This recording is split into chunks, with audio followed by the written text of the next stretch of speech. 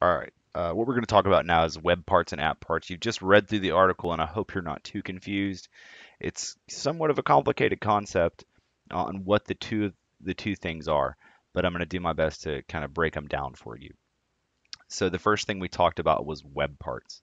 Um, they're both very similar. They both display information on a page, um, but the differences are web parts allow you to display data from other sources like list data, search results, forms, and even another web page on, on the page itself. And then app parts allow you to insert app content from the site onto the page.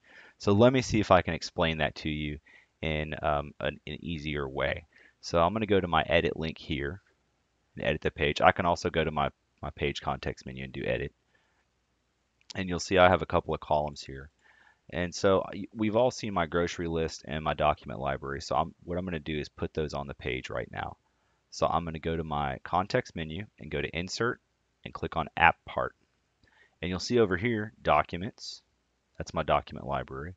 And grocery list. Well, I want to put my grocery list here. So I'll click here. I'll select grocery list and I'll add it.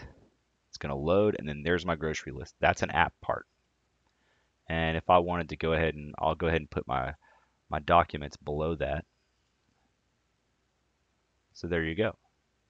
So those are app parts. App parts are any apps that you create on SharePoint and then put information into. App parts deal directly with those. Web parts are different. And here's an example.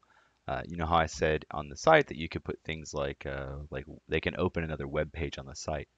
So if I go to web part and I scroll down to, I think it's media and content. Yep, here it is. And I go to my page viewer. There's a ton of stuff in here. Feel free to look around and put stuff on the page and see what you can mess with and see what you can get into. Um, we might go a little further into that later on and I might update the lessons, but for now, here, I'm just going to put a page viewer web part on the page. And so here's my page viewer, and you can see that whenever it inserts it, and I save it, you can see that it doesn't have any content in it. And so that's uh, this is the thing I like to compare them to. App parts are like windows.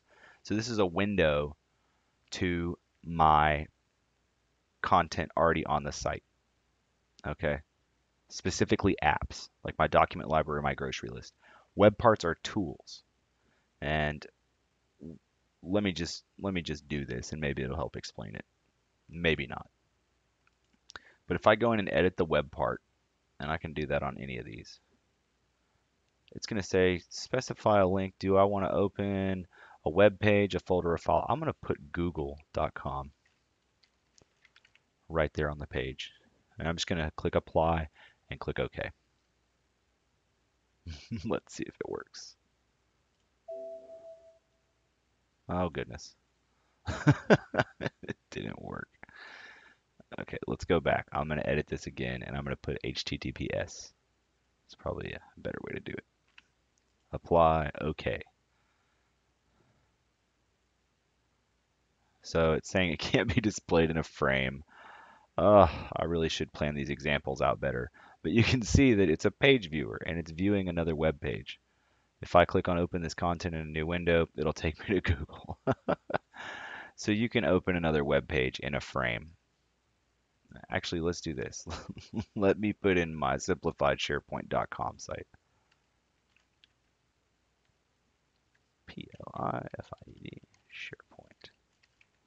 And I'll take out the HTTPS, and let's just see what happens. I'm getting a mixed content warning, but that's okay. I'll click OK, save the page, retry. Maybe it's not going to let me display that either. This is a bad example, but web parts let you display information and data. App parts let you display information from from apps that you've created on your site. That's the best way I know of to explain it right now.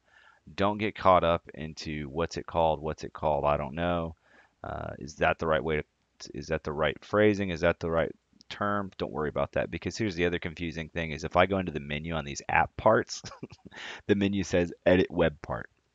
So they're, like I said, they're very similar and they're easily confused. Just remember, if you want to insert something on a page that you've already created,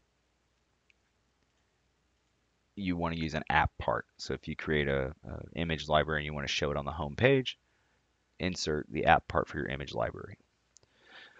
So I hope that was a little bit more clear than the article, but that's pretty much all I have for you. Um, be sure to check out the next lesson and have a good one.